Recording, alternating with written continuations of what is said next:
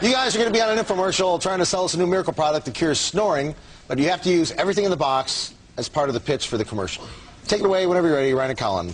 Hey, turn on the lights, put on your pants. It's time to shop, shop, shop.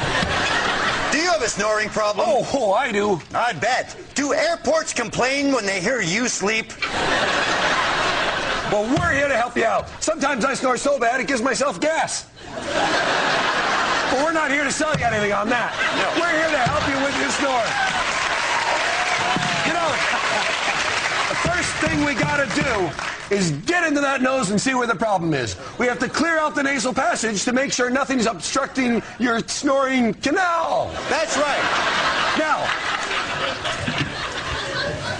this is nose hair magnified 5,000 times. This is what moves.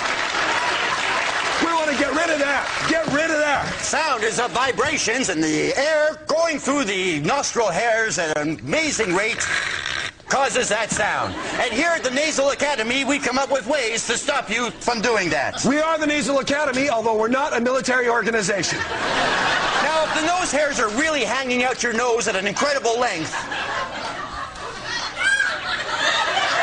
Ah! that is the suggested way to do it.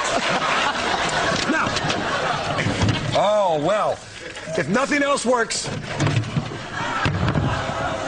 Okay, you're way ahead of me. What Colin does is attach this to his nose. This way we can artificially reproduce the snoring technique. It's not an easy thing to do, but it's something that has to be done. How's that feeling, Cole?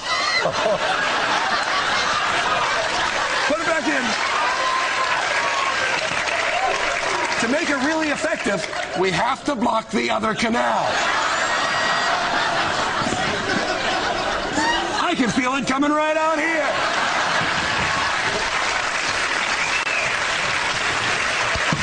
Now, this is one of the most important devices in the anti-snoring kit, and Colin's going to explain how it works. This is, of course, the nose clamp for those giant noses where nothing else can be used.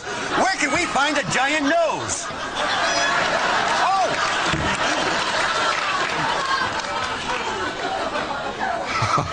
Okay. oh, hey, that works good. But it looks so much better with the yellow thing. Hey, what's that? Sometimes there is no method to stop snoring. And as you're looking at your wife or husband, keeping you awake for the 15th time in a row,